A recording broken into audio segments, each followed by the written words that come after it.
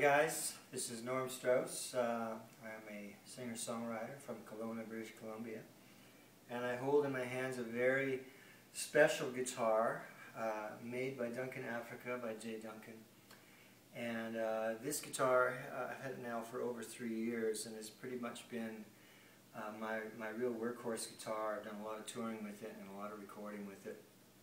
Really is the best acoustic guitar that I've ever owned one of the things that's always amazed me about this guitar is is the stability of the guitar. Uh, really have marveled many times uh, about uh, when I'm on tour, you know, when I finish a gig in one place and go to the next and open up the case and take it out and it's usually in tune, which is an amazing thing. I've never had a guitar that was able to be so stable and, and hold its tuning and, and, it rarely goes out of tune even during the course of the concert.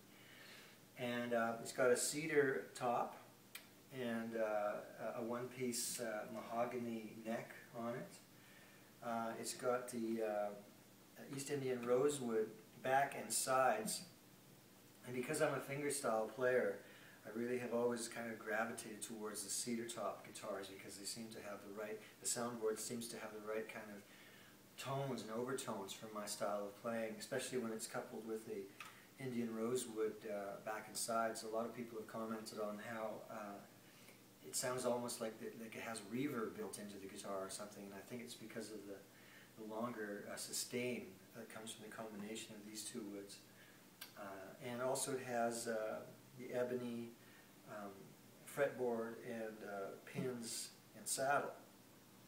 And uh, one of the things I like about this guitar is also its versatility. It's able to play, uh, it's also really able to sound good uh, when I'm doing real kind of biting notes like I just played in the blues sort of genre. It's able to hold those kinds of notes really well without sounding harsh or without being rumbly on the bottom ends. And also, if I'm if I have to play with a lighter touch, this kind of it's able to, to, to not sound harsh those notes shine with a lot of uh, balance throughout the notes. And also, if I, if I need to play in the upper positions on the neck, sometimes, uh, you know, I'll play in, in these positions up here. And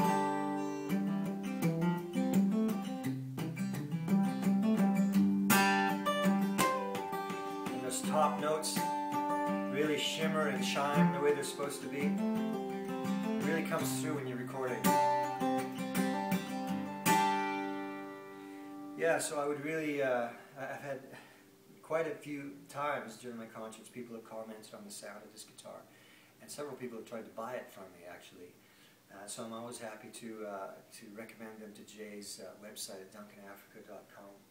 So I highly recommend the project. I really believe in what Jay's doing.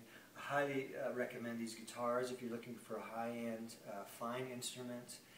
if you really have a discerning ear, particularly if you're a fingerstyle player, um, this, with the cedar top, is, uh, uh, and this kind of style, uh, the Selah, the Selah model, is something that I would really highly recommend.